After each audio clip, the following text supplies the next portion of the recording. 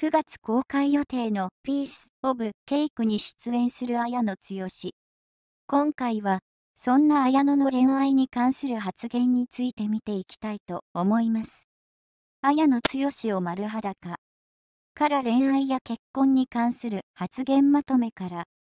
綾野剛。生年月日。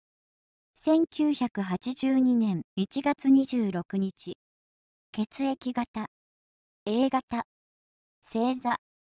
水瓶座。出身。岐阜、日本。現所属。トライストーンエンターテイメント。身長180センチメートル。3サイズ88の67の83。靴のサイズ27センチメートル。綾野剛の女性の好みについて。基本的に女性に対する理想や好みはない。綺麗になりたいって願望を素直に持ってたり、どうやったら可愛くいられるかな、と思う心が素敵。そういう風に自分に執着している人はいいらしいです。好きな女性のタイプは振り切っている人が好き。行くと、こまで行くと笑えますよね。面白い人が好きですね。会話に緩急があって、ちゃんと筋を通しているんですけど面白い人。綾野剛の恋愛観。二人で始まって、二人で終わるものが恋愛ですから、周りのせいにするくらいなら、恋愛なんてしない方がいい。周りに止められるような恋愛をしていても、相手を好きなら、どこまでも行けばいいと思う。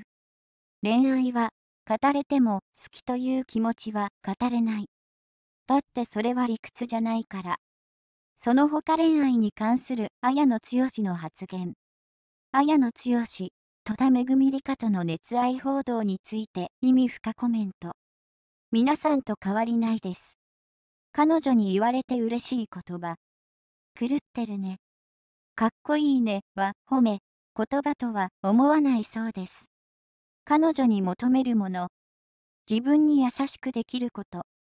自分を大事にしないと他人を大事にできないんじゃないかと言ってます。綾野剛の結婚に関する発言、エピソード。結婚願望は全くない。周りがしても、何の刺激も影響も受けない。プロポーズする時の言葉は、一回結婚しとこうか